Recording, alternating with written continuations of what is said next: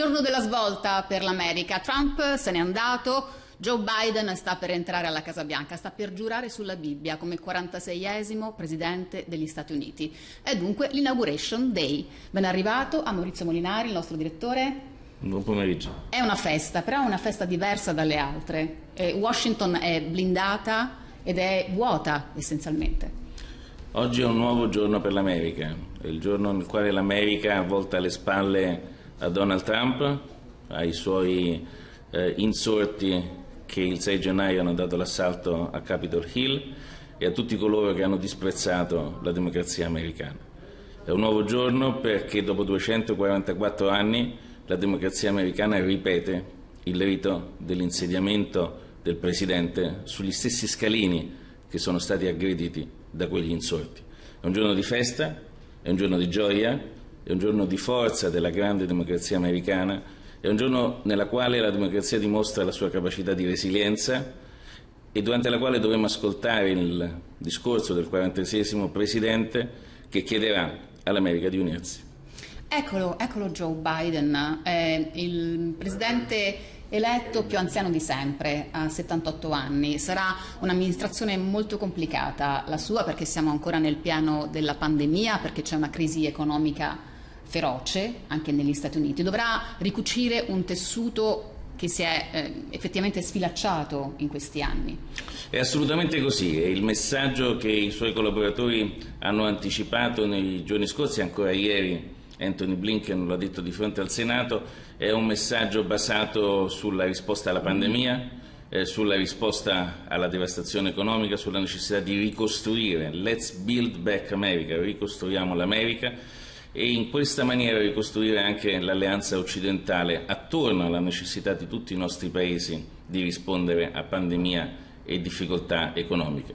È vero che il Presidente ha 78 anni che pone molti interrogativi, ma a fianco, al suo fianco ha una donna, Kamala Harris, il volto di una nuova generazione, l'energia, la prima donna vicepresidente, la prima donna nera e la prima donna South Asian che viene dall'Asia del Sud eh, è qualcosa di importante, di rivoluzionario.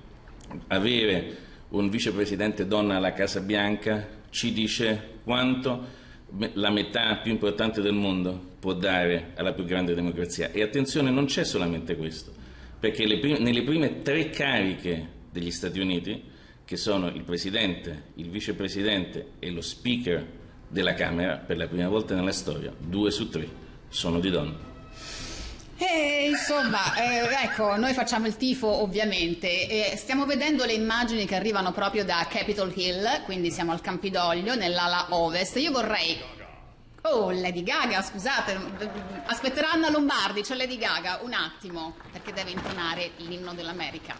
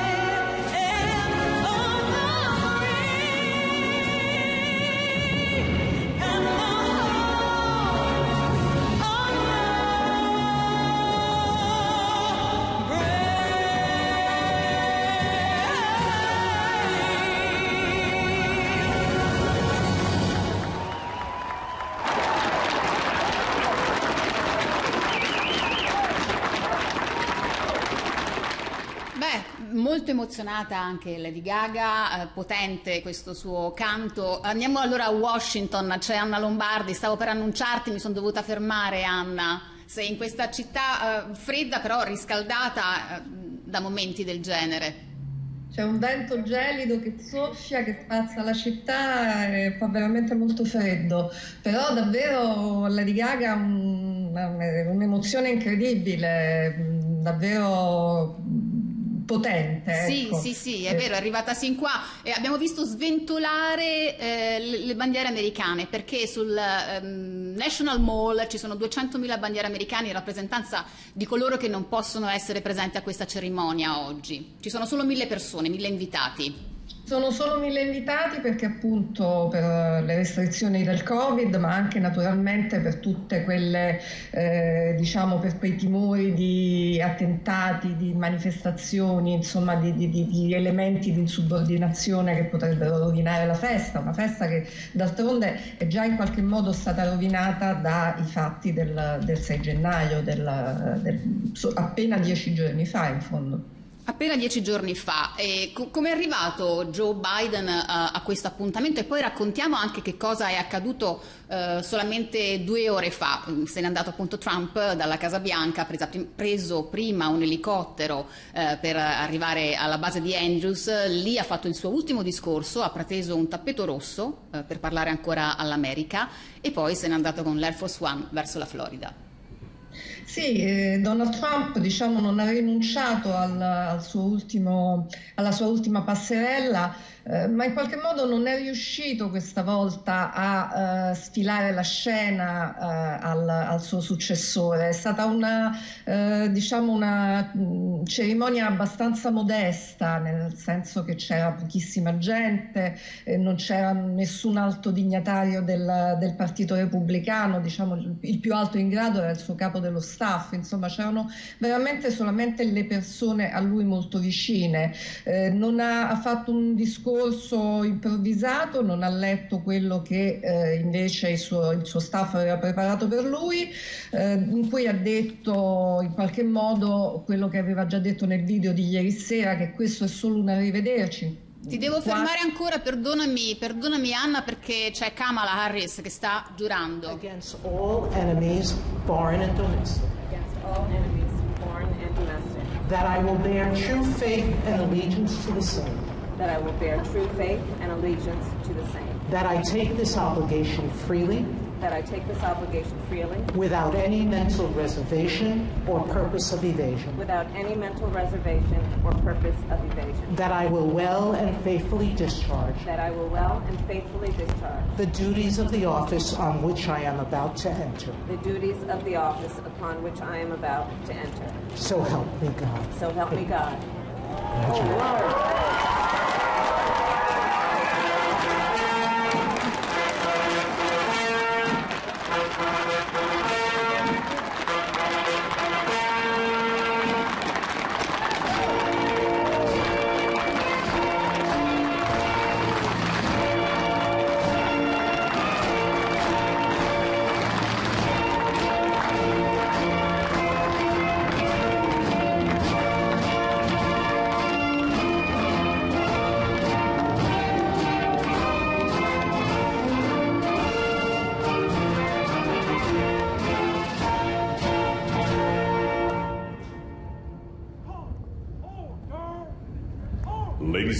gentlemen, please be seated.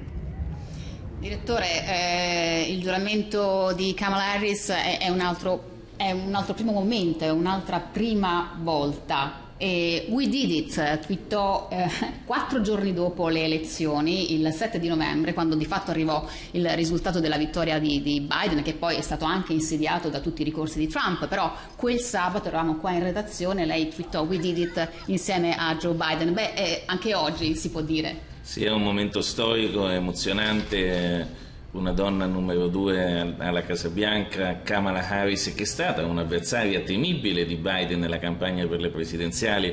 E mm, Kamala Harris è molto importante perché rispecchia la coalizione multietnica che ha eletto Biden, eh, rispecchia l'emozione delle donne, la mobilitazione delle famiglie, eh, ma soprattutto rispecchia un'idea di America, un'idea di un'America aperta dove chiunque può raggiungere qualsiasi obiettivo che se si rispettano le regole e si lavora duro si può entrare anche alla Casa Bianca. E Kamala in fondo Harris. lo sta dimostrando, torniamo subito a Capitol Hill, Jennifer Lopez con la sua performance.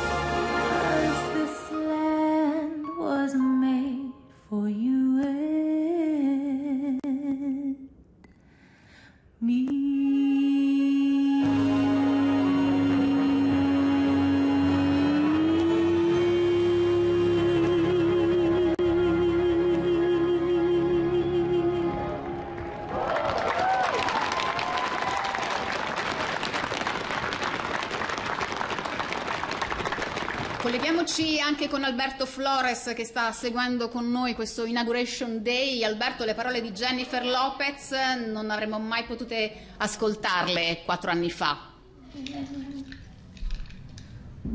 Ci sei Alberto?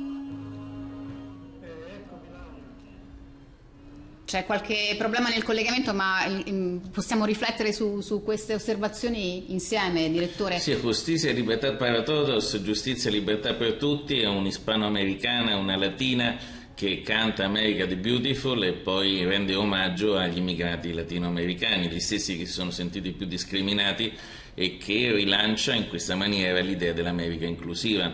E le note di Lady Gaga, che è un'italoamericana, così come quelle di Jennifer Lopez, che è una latina, lasciano intendere quanto l'America di Joe Biden voglia essere e nasca per essere l'America di tutti. Assolutamente. E invece Anna, torniamo eh, con te proprio a Washington. E cosa su tutto il simbolismo di, questo, di quello che abbiamo appena visto, perché lei ha cantato anche This Land is Your Land, in qualche modo eh, possiamo dire che è veramente un'altra musica che si sente a Washington, perché è una famosa canzone di protesta. E mh, c'è Biden che sta giurando però, forse quindi... E torniamo mh, con, con la diretta. Joseph Robinette Biden Jr. do solemnly swear I, Joseph Robinette Biden Jr., do solemnly swear that I will faithfully execute that I will faithfully execute the office of President of the United States office of President of the United States and will, to the best of my ability, will to the best of my ability preserve, protect, and defend preserve, protect, and defend the Constitution of the United States. the Constitution of the United States. So help you God. So help me God. Congratulations, Mr. President.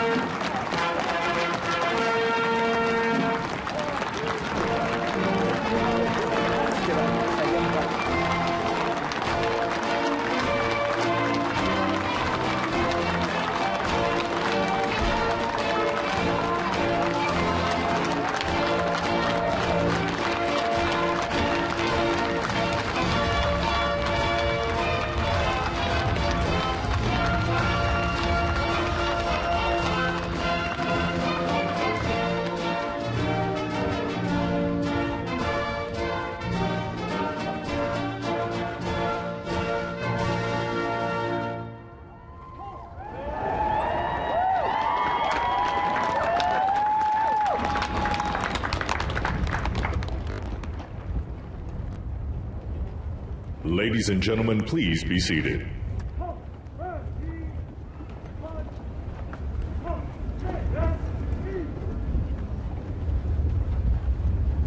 Dunque Anna, cosa deve accadere adesso?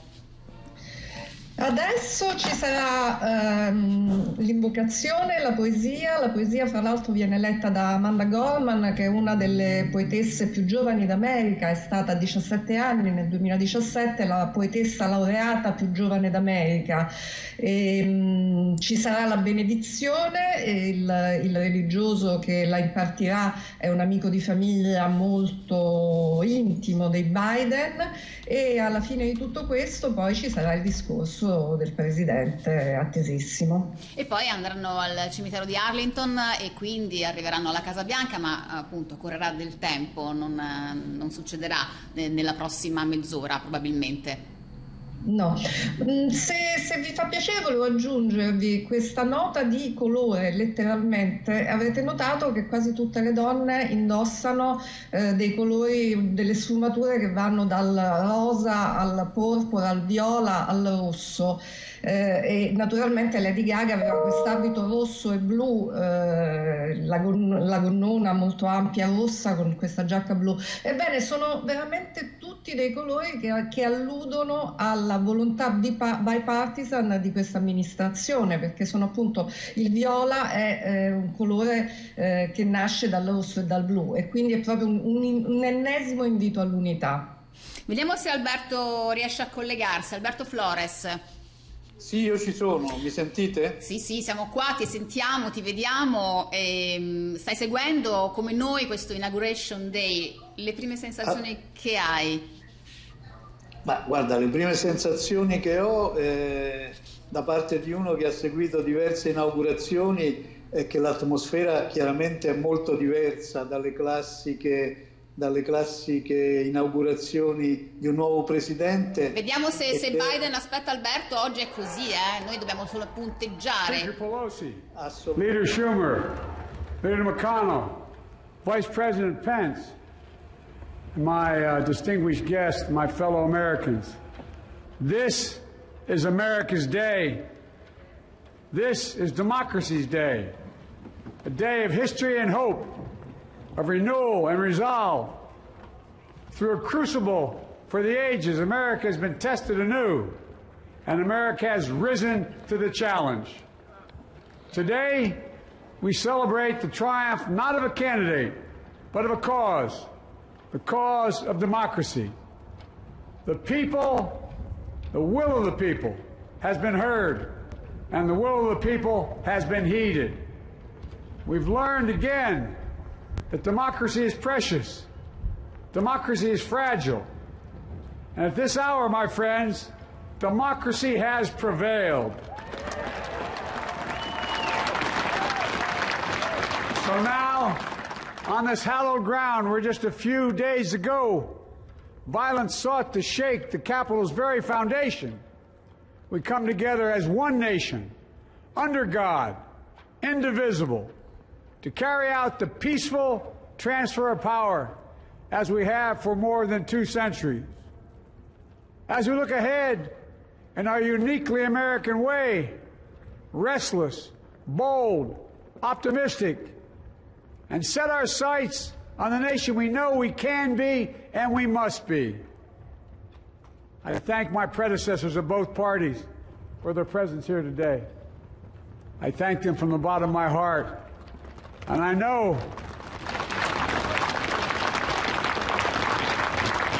and I know the resilience of our Constitution and the strength, the strength of our nation, as does President Carter, who I spoke with last night, who cannot be with us today, but whom we salute for his lifetime in service.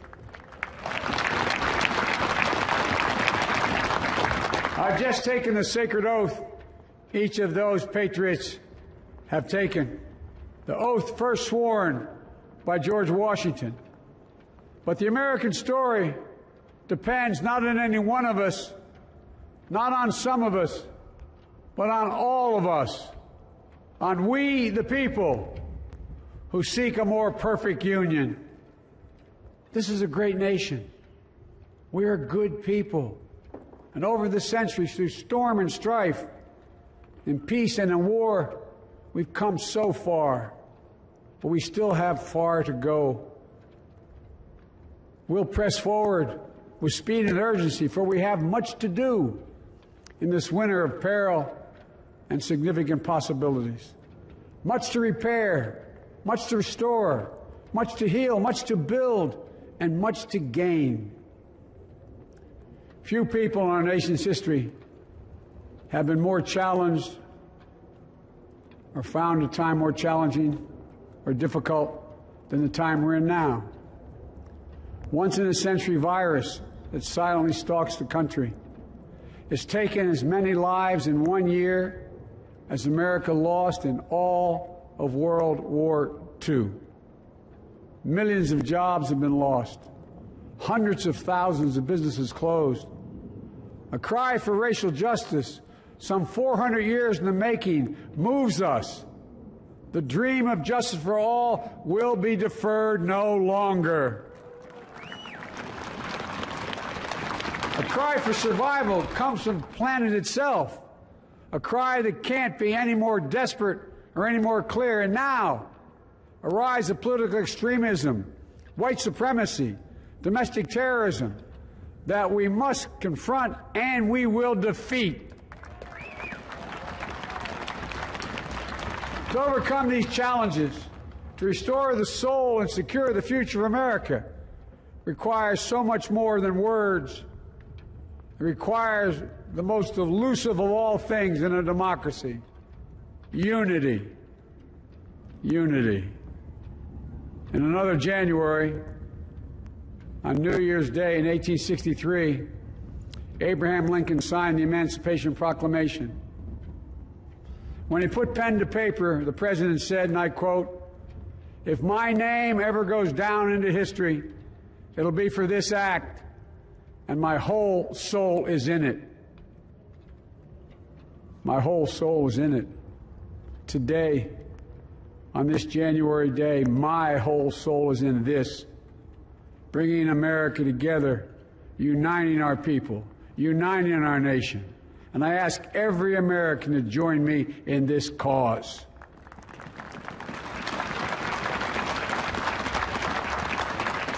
Uniting to fight the foes we face anger, resentment, and hatred, extremism, lawlessness, violence, disease, joblessness, and hopelessness. With unity, we can do great things, important things. We can right wrongs. We can put people to work in good jobs. We can teach our children in safe schools. We can overcome the deadly virus.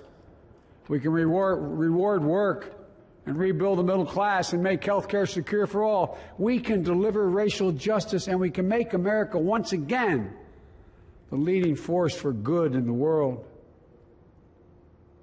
I know speaking of unity can sound to some like a foolish fantasy these days. I know the forces that divide us are deep and they are real. But I also know they are not new. Our history has been a constant struggle between the American ideal that we're all are created equal and the harsh, ugly reality that racism, nativism, fear, demonization have long torn us apart. The battle is perennial, and victory is never assured. Through Civil War, the Great Depression, World War, 9 11, through struggle, sacrifice, and setbacks, our better angels have always prevailed. In each of these moments, enough of us, enough of us have come together to carry all of us forward. And we can do that now.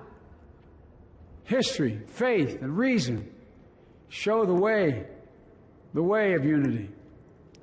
We can see each other not as adversaries, but as neighbors. We can treat each other with dignity and respect. We can join forces, stop the shouting, and lower the temperature. For without unity, there is no peace, only bitterness and fury. No progress, only exhausting outrage. No nation, only a state of chaos. This is our historic moment of crisis and challenge. And unity is the path forward. And we must meet this moment as the United States of America. If we do that, I guarantee you we will not fail. We have never, ever, ever, ever failed in America. We've acted together. And so today, at this time, in this place, let's start afresh. All of us. Let's begin to listen to one another again. Hear one another. See one another. Show respect to one another. Politics doesn't have to be a raging fire, destroying everything in its path. Every disagreement doesn't have to be a cause for total war. And we must reject the culture in which facts themselves are manipulated and even manufactured.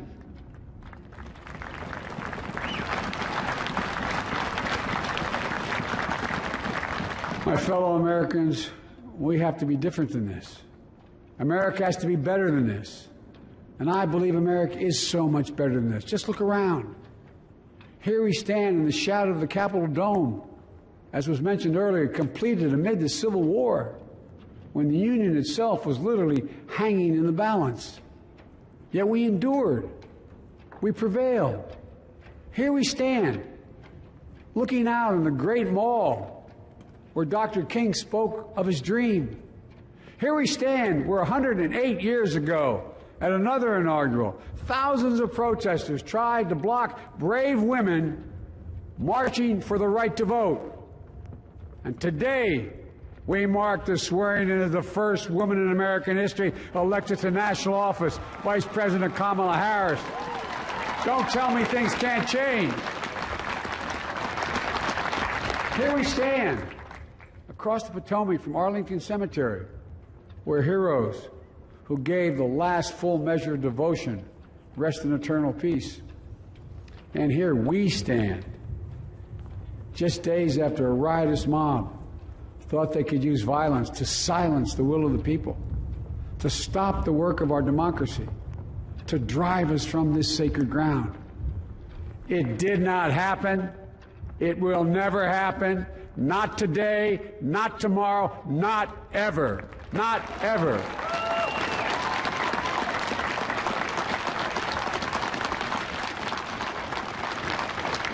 To all those who supported our campaign, I'm humbled by the faith you've placed in us. To all those who did not support us, let me say this. Hear me out as we move forward. Take a measure of me and my heart. If you still disagree, so be it. That's democracy. That's America. The right to dissent peaceably within the guardrails of our republic is perhaps this nation's greatest strength. Yet hear me clearly. Disagreement must not lead to disunion. And I pledge this to you I will be a president for all Americans, all Americans. And I promise you, I will fight as hard for those who did not support me as for those who did.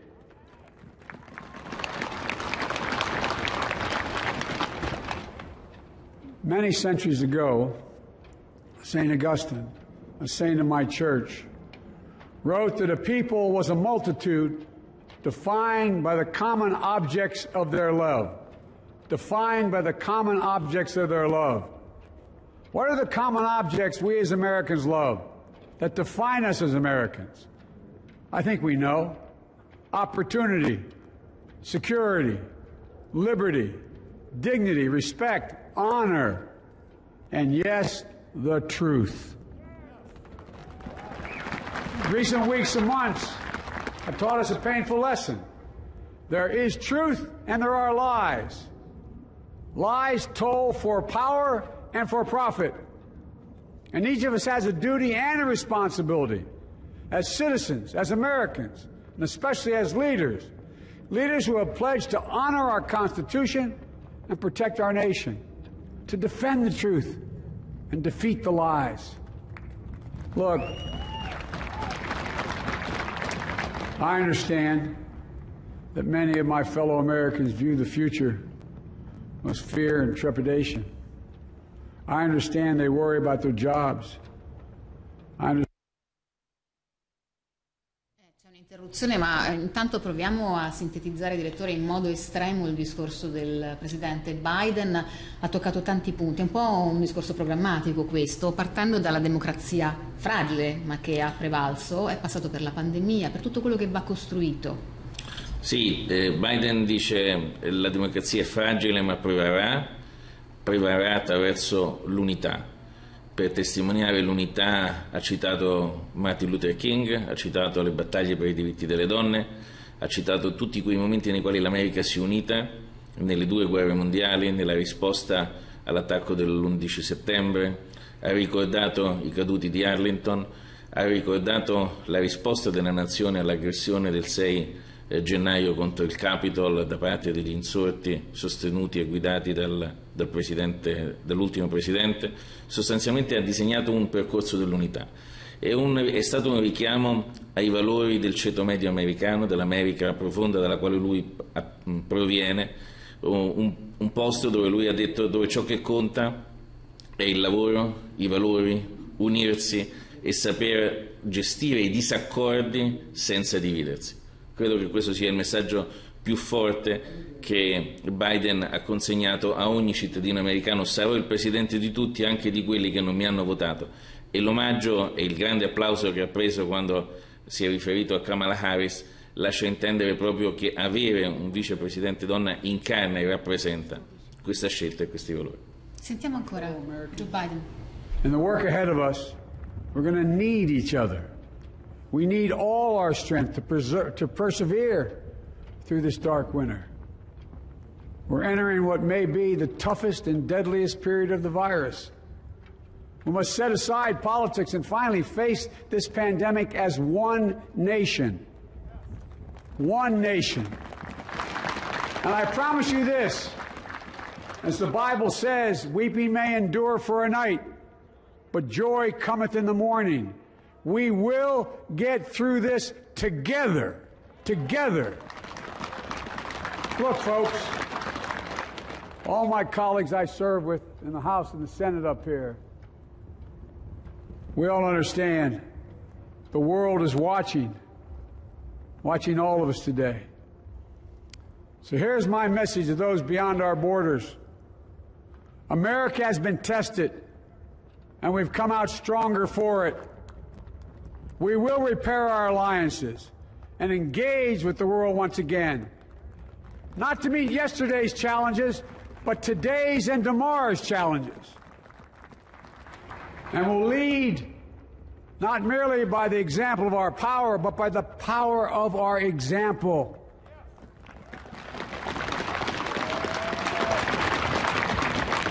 We'll be a strong and trusted partner for peace, progress, and security. Look, you all know we've been th- through so much in this nation. And my first act as president, I'd like to ask you to join me in a moment of silent prayer. Remember all those who we lost in this past year to the pandemic. Those 400,000 fellow Americans, moms, dads, husbands, wives, sons, daughters, friends, neighbors, and coworkers. We'll honor them by becoming the people and the nation we know we can and should be. So I ask you, let's say a silent prayer for those who've lost their lives and those left behind and for our country.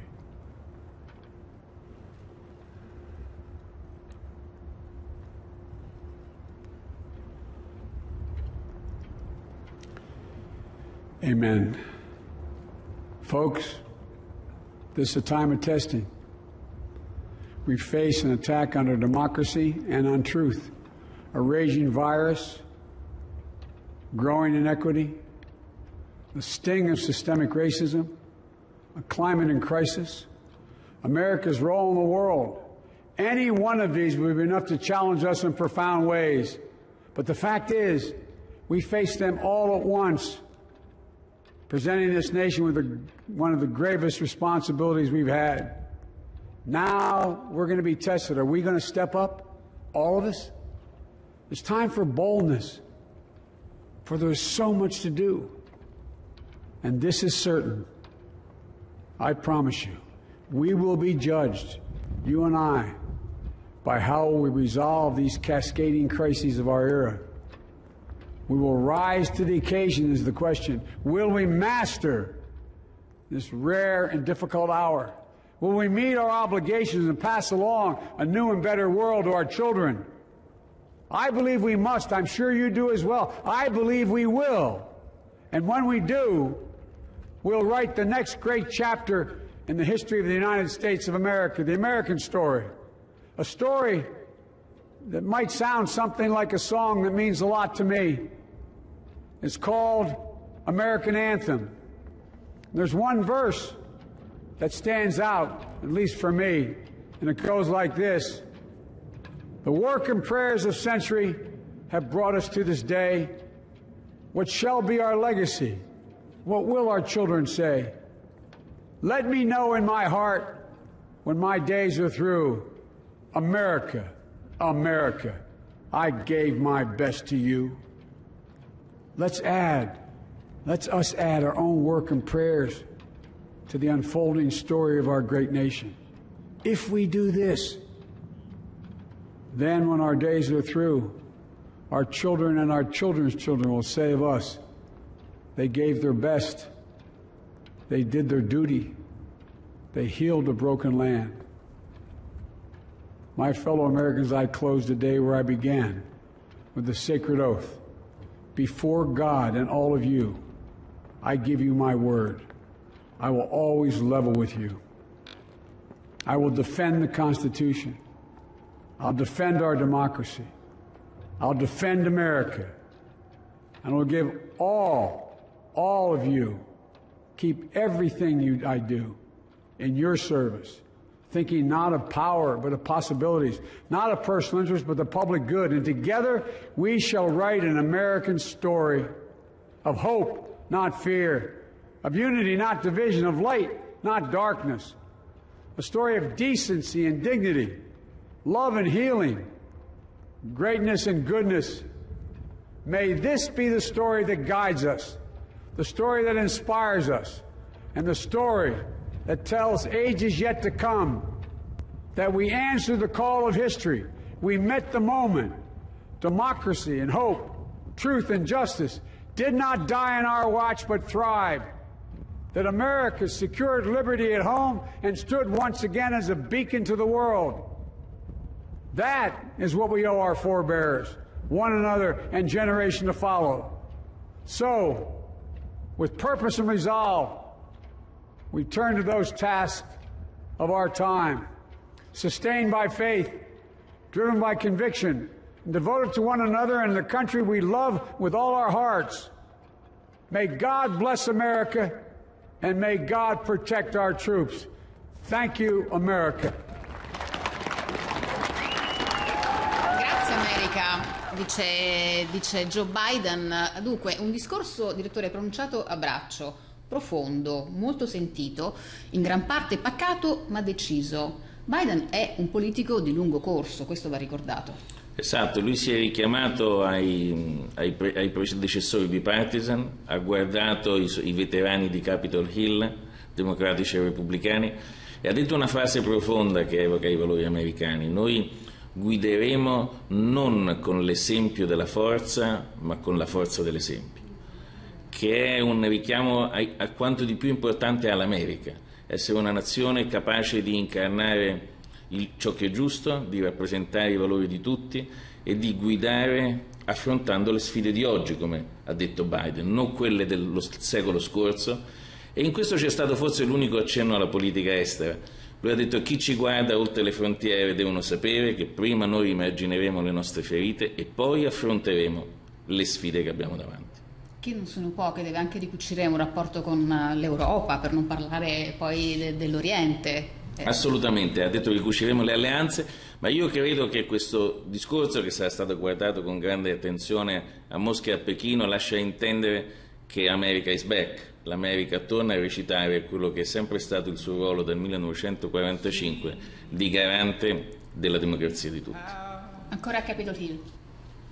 The sound that saved wretch like me.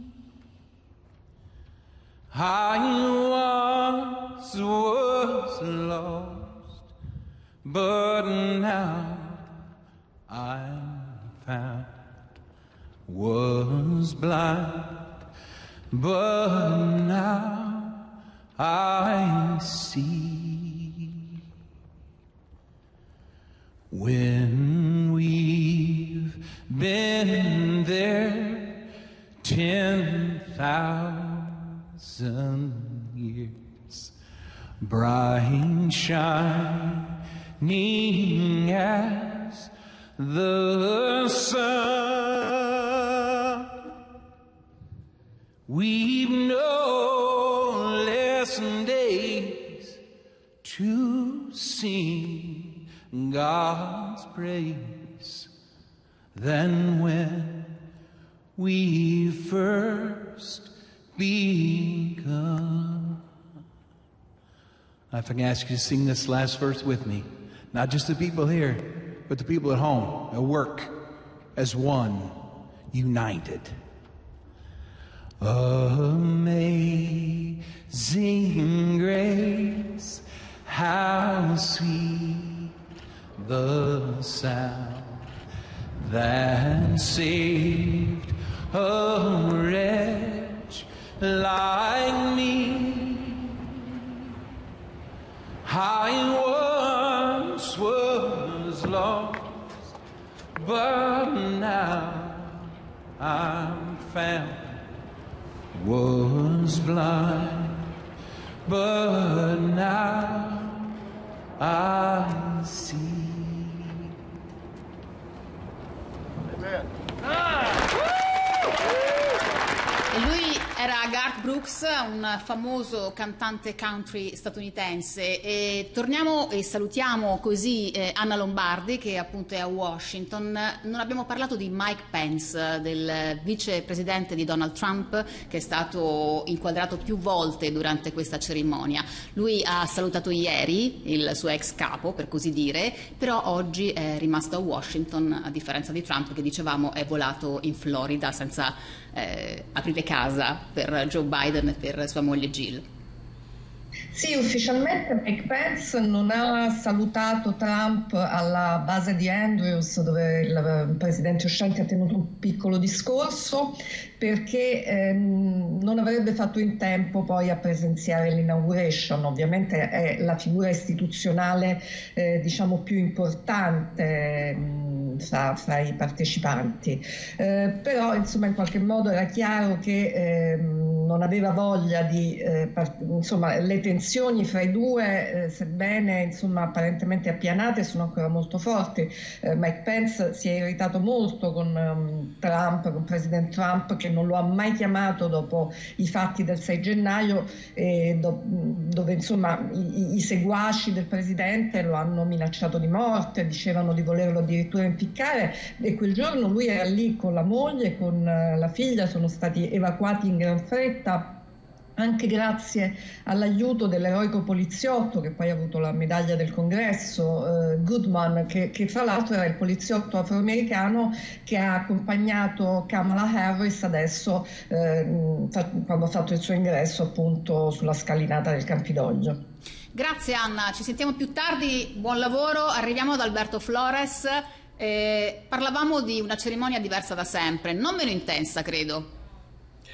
No, direi più intensa forse, proprio perché le condizioni eh, in cui eh, è stata fatta con eh, la pandemia, le misure di sicurezza. Washington è una città blindata oggi come forse non l'è mai stata nella sua storia, almeno nella sua storia recente, con 15.000 e passa eh, militari della Guardia Nazionale a controllare ogni angolo della strada. E poi è stata intensa perché eh, con le parole sia di Kamala Harris che poi soprattutto del nuovo presidente Joe Biden ha sancito il cambio di passo dell'America rispetto a questi ultimi quattro anni che sotto la presidenza Trump eh, hanno visto un'America sempre più non soltanto divisa ma anche sempre più arrabbiata ed angosciata. E quindi sicuramente è stata eh, una cerimonia importante. Eh, nel suo discorso Biden, fra l'altro, ha parlato due volte di patriots, di patrioti, ma non nel senso che usa Trump, che proprio in questi giorni sta valutando con i suoi più stretti collaboratori, gli ultimi fedelissimi che ha, di fondare un partito che si chiamerebbe addirittura Patriot Party, il partito dei patrioti ma ha citato i patrioti veri, i patrioti della storia e soprattutto ha detto i veri patrioti siamo tutti noi, tutti gli americani. Direttore, prima di salutarci, chi è Joe Biden? Che uomo è? Joe Biden è un veterano del congresso, è un figlio del ceto medio, è un uomo che ha sofferto a causa dei lutti che ha avuto nella sua famiglia, la, la prima moglie, il figlio piccolo, poi il figlio perso recentemente ma è sostanzialmente un uomo che incarna i valori americani. E oggi anche i simboli che lui ci ha offerto in questo Inauguration Day hanno evocato questi valori. Ha richiamato Abramo Lincoln e la costruzione del Capitol durante uno dei periodi più bui della, della Repubblica Americana e ha giurato sulla Bibbia di Thurgood Marshall, un giudice afroamericano della Corte Suprema che ha firmato la sentenza, contribuì a firmare la sentenza contro la segregazione nelle scuole. Questo è Joe Biden. Eh, ceto medio bianco, l'America profonda, l'America che rispetta le regole del lavoro a duro e che si riconosce nei principi americani che sono principi inclusivi, perché l'America fondamentalmente punta a essere, come disse Abramo Lincoln, una unione che tende sempre a perfezionarsi, perché la democrazia, come lui oggi ci ha detto, è fragile ma prevale se chi ne gode e chi gode dei suoi valori si batte costantemente per rafforzarli. Grazie direttore, buon lavoro, c'è il giornale Grazie. da fare quindi bisogna spostarsi in un'altra ala del palazzo. Andiamo di nuovo a Washington, in questo caso troviamo Federico Rampini. Ciao Federico, eh, proprio tornando al discorso del presidente Biden ha detto che appunto la democrazia è fragile, che è un momento di crisi, ma ce ne sono stati tanti eh, nel corso della storia degli Stati Uniti e che da qui si può partire per costruire, quindi è anche un tempo delle opportunità in fondo. Sì, il richiamo più frequente nel suo discorso è stato proprio quello alla guerra civile, quindi il periodo senza dubbio più tragico nella storia di questo paese. Di tutte le sfide che ha affrontato, quella è, è la più tragica perché è stata una guerra tra americani. Ehm, poi lui ha citato anche tra, tra, i momenti terribili la Grande Depressione degli anni 30, la seconda guerra mondiale e l'11 settembre. Ognuno di questi ha detto è stata un, eh, una prova tremenda ma da cui siamo usciti attraverso l'unità. Eh, della guerra civile non si può dire altrettanto, fu un massacro, una carneficina senza eguali nella storia, morirono 700.000 americani nella guerra civile, più di quanti poi ne morirono nella prima e seconda guerra mondiale messe insieme. E, ehm, e quelle ferite non sono mai state completamente curate. Eh, non è mai stato superato del tutto il trauma della guerra civile. In parte nella questione razziale di oggi c'è ancora un'eredità di quella guerra, nel risentimento del profondo sud che ha sempre dato una lettura revisionista della storia, ha sempre letto la guerra civile come una colonizzazione da parte del capitalismo del nord. Ehm, quindi il vero, il vero punto di riferimento per lui è quello e per questo è stato un discorso dove il tema più importante ricorrente è l'unità. Eh, riunificare un, un, paese troppo diviso è la sfida più terribile che ha di fronte, insieme ovviamente alle due sfide gemelle della pandemia e della crisi economica, però in fondo anche queste sfide, se pensiamo al suo obiettivo di 100 milioni di vaccinazioni in 100 giorni, alla sua manovra da 1900 miliardi di dollari di spesa pubblica per aiutare eh, i, i, disoccupati, le famiglie. Eh, tutto questo passa anche attraverso la ricostruzione di qualche livello di unità, perché lui non può fare tutto soltanto con l'appoggio del suo partito e dei parlamentari democratici.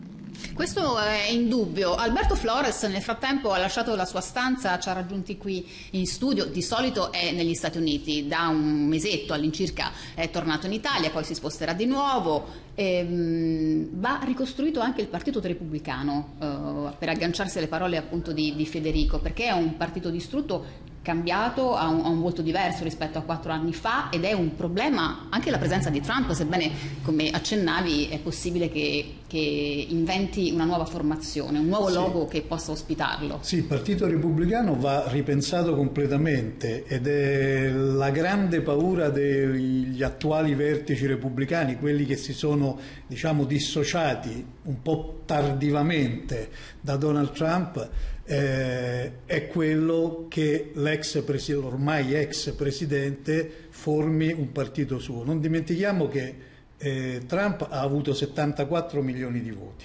81 invece 81 li ha avuti Biden. Biden. Biden. ne ha avuti molti di più.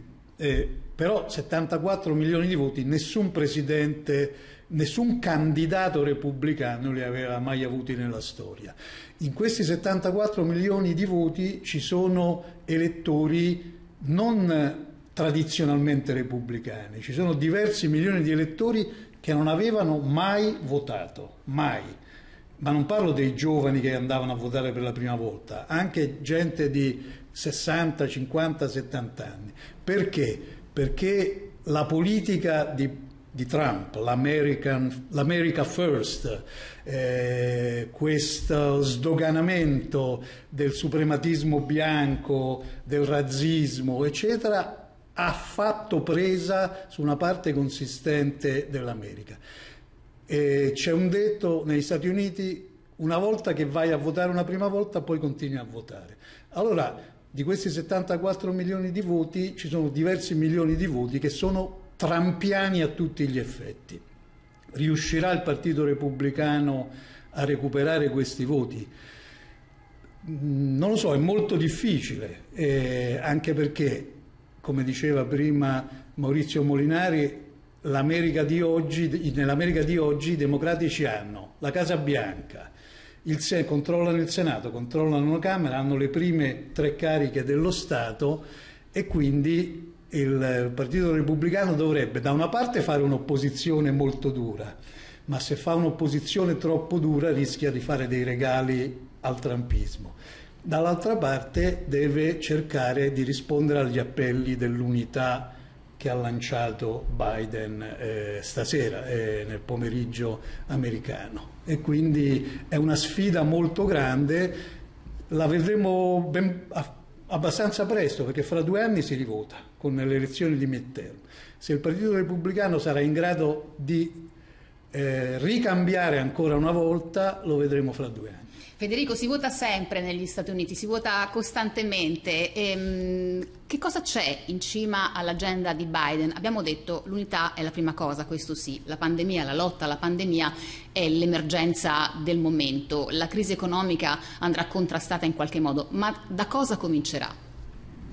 No, proprio da queste due crisi gemelle, pandemia e recessione, che sono strettamente legate tra di loro. Questa non è una recessione qualunque, è una recessione creata da, dai lockdown eh, dell'anno scorso e tuttora, tuttora, attuati soprattutto in quelle zone d'America più colpite. Quindi ehm, eh, so, sono le due sfide su cui si gioca tutto e avete ragione a sottolineare che poi i tempi della politica americana sono sincopati, sono brevissimi, tra meno di due anni, perché stiamo parlando del eh, novembre 2022 si vota per le legislative di midterm quell'apparente forza dei democratici, molto apparente, eh, quel monocolore democratico, Casabianca, Camera, Senato, dico apparente perché le, le, le maggioranze sia alla Camera eh, che al Senato sono esili e, e, si possono perdere molto presto, cioè un, un rovescio alle legislative di midterm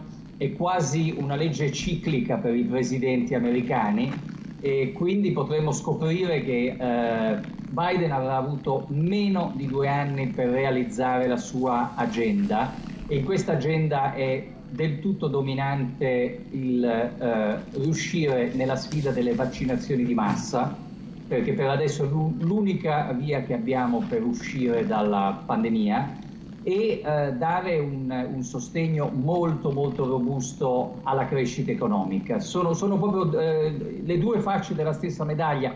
Eh, di nuovo, il, eh, il, tema dei 74 milioni di elettori di Trump eh, non riguarda soltanto il futuro del Partito Repubblicano, ma anche il futuro del Partito Democratico. Se il Partito Democratico vuole eh, andare verso delle maggioranze più robuste, più sostanziali, non può rinunciare per sempre a rappresentare ampie fasce delle classi lavoratrici, perché quello che è successo con l'ultima elezione è che eh, Trump ha consolidato un movimento che non ha inventato lui, eh, perché comincia con Ronald Reagan, il, il fenomeno dei uh, Reagan Democrats, li chiamavano, gli ex democratici che avevano votato per Reagan. Comunque l'idea di un partito repubblicano che non è più il partito dei capitalisti prevalentemente, non è più il partito della vecchia borghesia industriale del nord-est, eh, tutto sommato moderata, liberista, ma diventa sempre più il partito della classe operaia, delle classi operaie vecchie e nuove e in particolare di tutti quelli che non hanno la laurea, perché il vero discrimine Nell'ultimo risultato elettorale è stato proprio che quelli con la laurea hanno votato democratico, quelli senza, compresi tanti ispanici e perfino una quota minoritaria ma sorprendente di afroamericani senza laurea hanno votato per Donald Trump. Eh, cosa, cosa può fare il presidente appena, appena insediatosi da pochi minuti per riconquistare anche queste fasce di voto operaio? Beh, è il, è il, tema della ripresa economica, deve essere una ripresa robusta, con creazione di occupazione a tutti i livelli e con meno diseguaglianze, perché l'anno scorso noi abbiamo avuto un paradosso atroce, feroce, crudele, cioè i, i, i, i poteri forti del capitalismo americano si sono arricchiti ulteriormente grazie alla pandemia e ai lockdown. Big tech, i giganti digitali della Silicon Valley e la finanza di Wall Street hanno avuto un'annata meravigliosa, sono annegati nei profitti, è stato un anno d'oro per loro. È una vergogna perché nel frattempo eh, mezza America è scivolata verso forme di povertà e questo è un, è un tema che sfida i democratici, tanto più che quei poteri forti del del capitalismo americano stanno decisamente dalla parte del Partito Democratico. Nel frattempo abbiamo visto moltissime scene interessanti. Adesso eh, i Biden stavano salutando gli Obama, c'erano anche i Bush, i Clinton, abbiamo visto presenti eh, Alberto a questa cerimonia. C'è stata la benedizione, la cosiddetta inauguration benediction eh, del reverendo Beeman eh, che viene dal Delaware, da Wilmington, quindi da casa Biden, ed è il suo confessore da 30 anni, quindi c'è anche un carattere molto personale in questa giornata. Sì, ricordiamo che Joe Biden è cattolico e quindi... E fa la differenza questo. Fa molta differenza ed è il primo presidente cattolico dopo eh, John Kennedy. Quindi, che era stato il primo in assoluto, se non erro. Quindi eh, la presenza di, degli ex presidenti, secondo me, è importante, è, è è tradizione che gli ex presidenti vengano a salutare il nuovo presidente al giuramento, ma in Anzi, questo caso Biden ha citato Carter, Carter che non discorso, poteva venire, non poteva venire a 96 anni, eh sì, quindi esatto, è rimasto a casa è rimasto chiuso in casa per tanti problemi anche fisici. Ma è molto importante oggi che a fianco di Clinton e di Obama, due presidenti, gli ultimi due presidenti democratici prima di Biden, ci fosse anche George W. Bush a segnalare che il Partito Repubblicano è, è quello che rappresenta lui, il Partito Repubblicano tradizionale. A, a, a sottolineare l'assenza veramente diciamo, eh, ingiustificata perché eh, non è solo, è veramente una questione anche di piccola maleducazione nel sistema americano, non, non assistere al, al, passaggio, alla, dei al passaggio dei poteri, al passaggio... E, del resto Bush, Clinton e Obama in varie occasioni negli ultimi anni si sono riuniti avendo, avendo una, un pensiero e una politica simile su questioni eh, di grande importanza come l'immigrazione, ad esempio, e, e quella è l'America unita, repubblicana e democratica, l'America di Clinton, l'America di Bush e l'America di Obama. E il problema dell'immigrazione sarà uno dei primi temi che Biden ha deciso di affrontare, con una legge assolutamente iperprogressista che prevede un percorso per rendere cittadini americani nel giro di otto anni, prima con cinque anni di green card e poi tre anni per avere la cittadinanza vera e propria, a 11 milioni di clandestini, cioè di eh, immigranti che lavorano da anni, che vivono da anni negli Stati Uniti, ma non hanno alcuna salvaguardia. Che cosa ne sarà Federico del, del, muro con il Messico? Intanto solo ieri eh, l'uscente Trump ha perdonato Steve Bannon che era il suo stratega nei primi tempi della Casa Bianca, eh, poi si sono allontanati sappiamo e Steve Bannon insieme ad altri collaboratori, aveva organizzato un crowdfunding per la barriera con il Messico di 25 milioni di dollari e evidentemente, visto che è stato incriminato, insomma, l'uso di quei soldi eh, è stato tutt'altro rispetto a quanto dichiarato. Ecco, che cosa ne sarà del muro? Sì, Steve Bannon eh, li, li ha rubacchiati quei soldi lì è una, è una, delle tante cose che gli vengono rimproverate. Il muro, il muro resta, il muro, quella parte, peraltro incompiuta, che ha aggiunto Trump al muro non verrà certamente demolita. Ehm, la storia del muro è una storia di simboli, no? Prima, la prima parte di muro la costruì Bill Clinton quindi eh, a un'epoca in cui anche il Partito Democratico aveva un atteggiamento più duro nei confronti del controllo alla frontiera, eh, per Clinton eh, all'epoca non era, tra l'altro quello fu il pezzo di muro in, in California, no? tra la città di, diciamo, a sud di San Diego e a nord di Tijuana. Il tema all'epoca di Clinton era soprattutto la lotta al narcotraffico quindi era un, un, muro sempre molto simbolico perché poi i muri si, si, uh, si aggirano in tanti modi.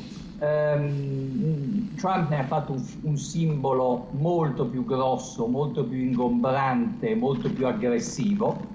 ehm, resterà lì quella par- parte di muro che lui ha aggiunto, ma eh, è chiaro che c'è una svolta nelle politiche per l'immigrazione, l'ha spiegato prima Alberto Flores.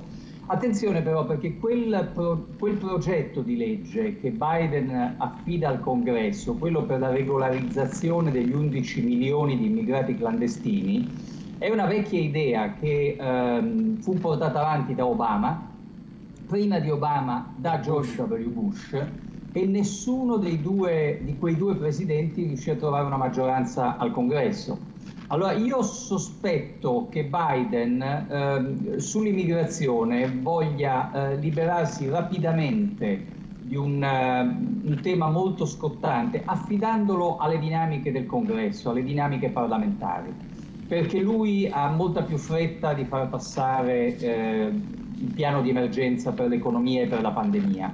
Quelli ha bisogno di, uh, di farli approvare subito. Quindi anche su quello che dovremo osservare con molta cura nelle, pro, nelle prossime giornate è il gioco di triangolazione uh, tra Biden, la Presidente della Camera Nancy Pelosi e il nuovo leader del Senato che è Chuck Schumer, capogruppo dei democratici, sul uh, sulle priorità del calendario, proprio il calendario dei lavori parlamentari, quello ci dirà molto, molto. Già per esempio la Nancy Pelosi nei giorni scorsi, eh, ehm, senza dare troppo nell'occhio, ha raccolto la richiesta di Biden di non trasmettere subito al Senato l'impeachment, perché nel momento in cui la Camera trasmette l'impeachment al Senato, il Senato se ne deve occupare.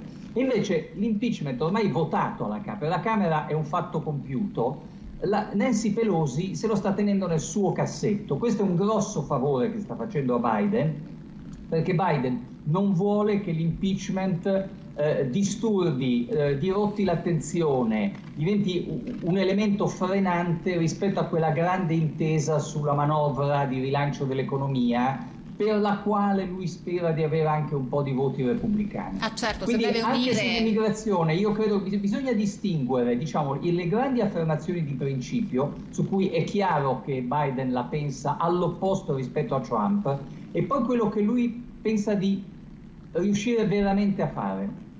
Eh, un'altra cosa che volevo capire con te Alberto è eh, come mh, si comporterà nei confronti del verde, l'ambiente, che priorità ha nell'agenda di Biden? Intanto gli Stati Uniti rientreranno nell'accordo di Parigi, dal quale sono usciti, è un perimetro dal quale sono usciti appena dopo le elezioni, il 4 di novembre, perché Trump questo ha deciso. E invece eh, ha dato subito un segnale proprio Joe Biden, forse anche all'Europa.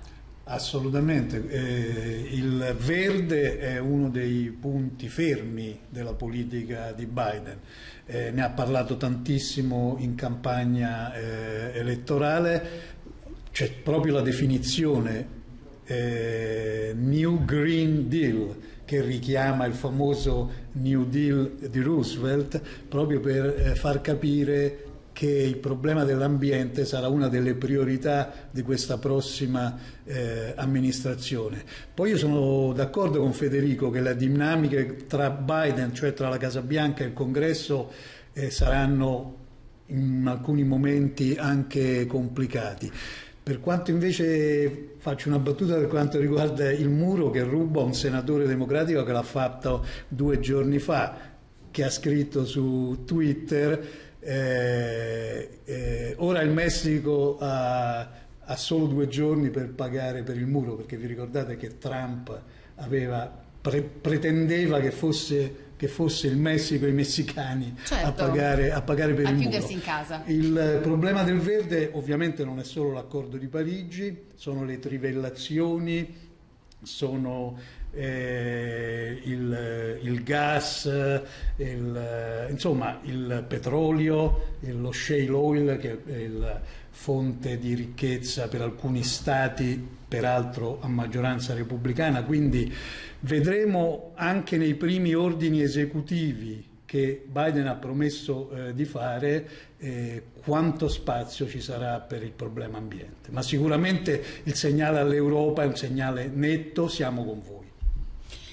E Federico, prima di lasciarci, L'agenda è fittissima, l'abbiamo raccontata insieme, ma oggi, oggi, cosa deve fare Biden? Che cosa accade eh, nelle prossime ore? Come si conclude questo Inauguration Day? Adesso abbiamo accennato al fatto che andranno al cimitero monumentale di Arlington eh, le famiglie, Biden, Kamala Harris, vicepresidente.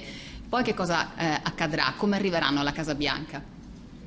Eh, intanto non ci sono i balli, Questa, quest'anno prima per il Covid e poi per eh, i pericoli per l'ordine pubblico ogni mondanità è stata cancellata. Ma guarda, a parte l'ingresso alla Casa Bianca che è stato preceduto da squadre di pulizie disinfettanti per essere sicuri che non ci siano virus dentro la Casa Bianca per i nuovi entranti, quello che, che veramente sarà eh, caratterizzante nel pomeriggio, perché qui è solo, eh, non è nemmeno l'una del pomeriggio, insomma, quindi rimangono molte ore, è che Biden si metterà subito al lavoro proprio per firmare eh, decreti presidenziali, quelli che qui chiamiamo ordini esecutivi, sono dei, dei decreti del Presidente. Eh, io penso per esempio che il, il, rientro dell'America negli accordi di Parigi per la lotta al cambiamento climatico potremmo averlo già firmato da Biden entro stasera.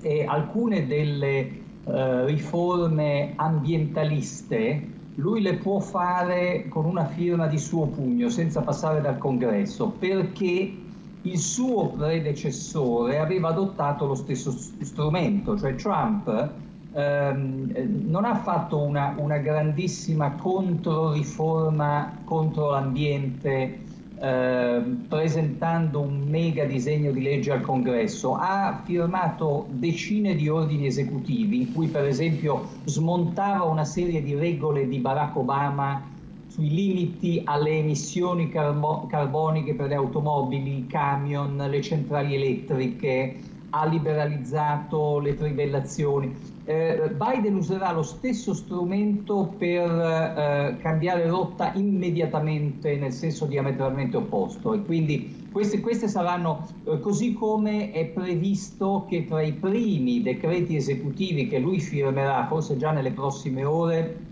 ci sarà la cancellazione del cosiddetto Muslim ban, cioè quei divieti di ingresso negli Stati Uniti che avevano colpito soprattutto prevalentemente nazioni a maggioranza islamica.